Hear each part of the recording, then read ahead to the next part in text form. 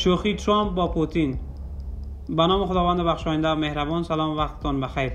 و یکی از ویدیوهای دیگر از کانال Smart Plus خوش آمدید. تقاضا می‌کنیم تا پایان ویدیو با ما همراه بوده و این کانال رو نیز subscribe کنید.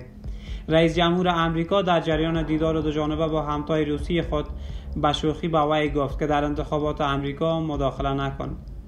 با گزارش اسپوتنیک دیدار ولادیمیر پوتین رئیس جمهور روسیه و دونالد ترامپ رئیس جمهور ایالات متحده امریکا روز جمعه 28 جون در حاشیه نشست گروه 20 در شهر اوزاکا ژاپن برگزار شد.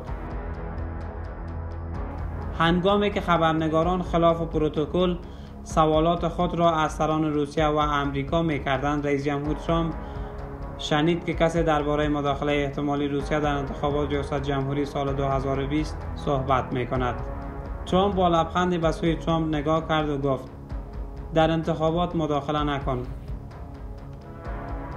گفتنی از نشست سران روسیه و امریکا حدود تقریبا یک و نیم ساعت ادامه داشت.